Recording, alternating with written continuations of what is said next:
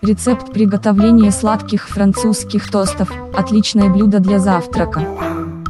В большой миске взбить яйца, сахар и молоко, добавить корицу и мускатный орех, взбить венчиком, залить ломтики хлеба яичной смесью, дать постоять, пока хлеб не поглотит жидкость, от 2 до 3 минут, перевернуть на другую сторону и залить яичной смесью, дать постоять от 2 до 3 минут.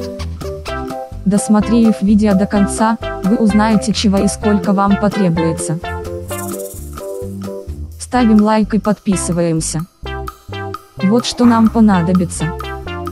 Больших яиц, 6 штук, молотой корицы, 1 чайная ложка, мускатного ореха, 1 щепотка, буханку хлеба, 1 штука, топленого масла, четверть стакана, сливочного масла, 2 столовые ложки, количество порций, 4-6. Подпишись и поставь лайк, чтобы не пропустить следующее видео, которое поможет вам вкусно готовить. Буду скучать без вас.